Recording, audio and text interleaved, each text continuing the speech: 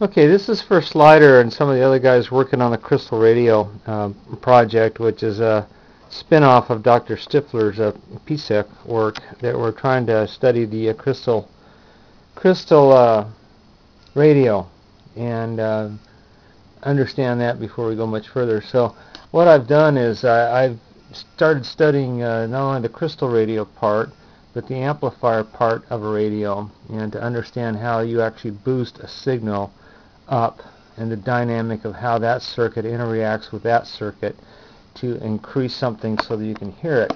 Now in Dr. Stiffler's PSEC, he's taken an ambient signal, something somehow, and amplifying it until he lights up a bunch of LEDs out of thin air. And this could, could possibly be nothing to do with the PSEC, but it's something that I wanted to study and learn about. So what I've done here was I've used a uh, these Slayer exciter uh, coils as the antenna. And then uh, I've taken the ground wire off here and I've made a radio that will run uh, without uh, a crystal radio that will run without the ground wire or the external antenna. Turn it on here. I'll show you how this works. And there's the radio on right there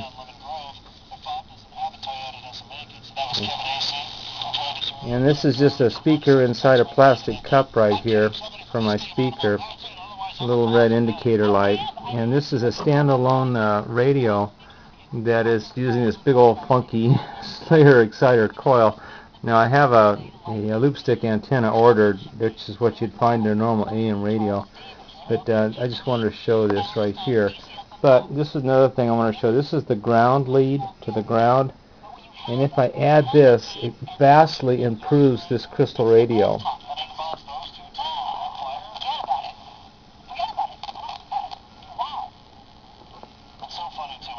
over here.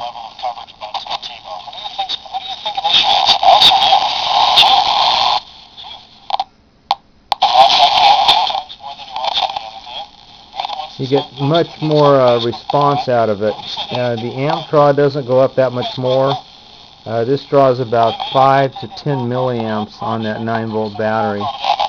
And uh, anyway, this was just something that I wanted to show and, and uh, show folks what I'm doing is I'm studying how a crystal radio works and the dynamic of that and how you take a sine wave and you modulate, um, you take off one part of it uh, with this diode and uh, then you're able to take that signal into an amplifier circuit to the point where you can hear it.